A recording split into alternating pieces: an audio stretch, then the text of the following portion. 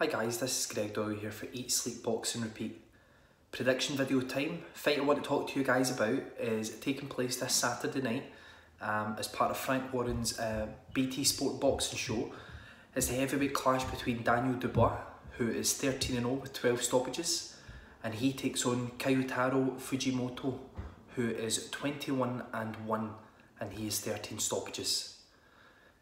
So, um, it's really good to see Daniel Dubois back out, guys. Um, he's probably one of the most exciting, if not the most exciting, heavyweight prospect in the country at the moment. And he takes on, as I say, the relatively unknown um, Kyotaro Fujimoto.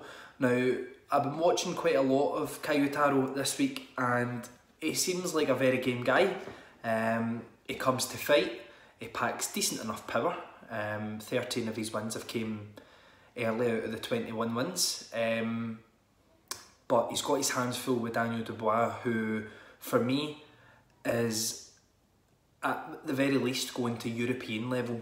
Um, that's that's the way that I see it. I think I would not be one bit surprised if he reaches world level and cracks world level. I think it would just timing right for Daniel if Daniel's to do that. But I can see him being at the very least a European champion. Um, Fine Saturday night, if you look at both guys' strengths, um, Kyotaro is quite game, isn't he? Uh, he comes forward, he throws punches from awkward angles, and he's one of these guys, he's not going to be defeated until he's on his back. Unfortunately for him, um, that's what Daniel Dubois' game is. He's knocked out 12 or 13, he's a massive puncher, and he's also very, very good, Daniel, when it comes to stalking down his opponent. Um, very difficult to say where Kyotaro can cause Daniel many problems. Um, I've seen a bit of his fight that he lost to um, Solomon, can't remember the, the full guy's name, um, where his hands were just too low, he got hurt on the back foot and he collapsed against the ropes, etc. And if he does that against Daniel Dubois, he will not get back up. So it'll be very, very interesting to see how, how that plays out if it comes to that. But um, with Daniel, we know Daniel's strengths, his power, his stalking ability. He's got a very, very hard jab. So I'm expecting um, an interesting fight uh, because is Kyotaro going to come out as he normally would and go hell for leather? Or does he know what he's up against and he's going to try and play it safe for a couple of rounds and try and um, hold and outmaneuver Daniel and try and frustrate him? So it's a very, very tricky one.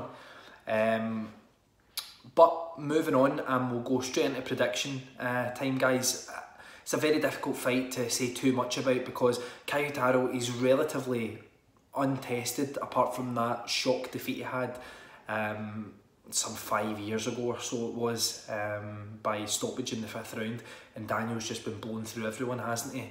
Um, was very impressed with him against Nathan Gorman been very impressed in the past when I've seen him against guys like Kevin Johnson. Yeah, that one went the distance, but that's only a good thing. It shows Daniel that what what's needed to go the distance in these kind of fights. But prediction time. This is not a fight I see going the distance. Um, you could probably tell that from the way I'm speaking.